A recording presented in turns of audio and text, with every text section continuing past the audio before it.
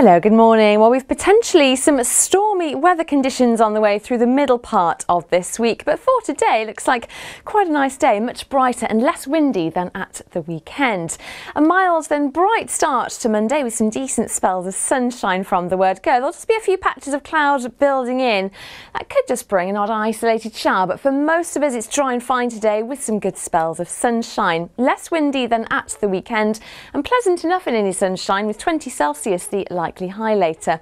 Tonight, dry and clear at first, but there is the possibility of some heavy and thundery showers pushing up from the south later on in the night.